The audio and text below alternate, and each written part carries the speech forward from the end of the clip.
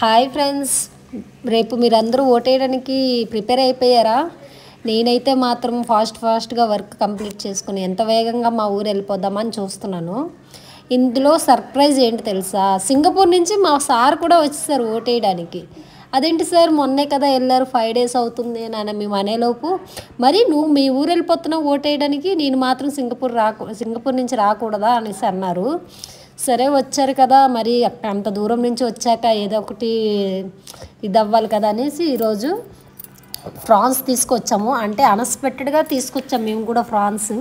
ఇంట్లో గోంగూర ఉంటే ఏదైనా వెరైటీగా ట్రై చేద్దాము అని అనుకొని గోంగూర ఫ్రాన్స్ వెరైటీగా ట్రై చేశాను. నేను కూడా త్వర త్వరగా చేస్తాను. మా సార్ తిన్నారు తినేసి బాగుంది గాయత్రి అని చెప్పారు. ఇంకా నేను కూడా హ్యాపీగా ఫీల్ అయ్యాను. ఓకే ఫ్రెండ్స్ రేపు ఆలోచించుకొని ఆ ఓట్ ఓకే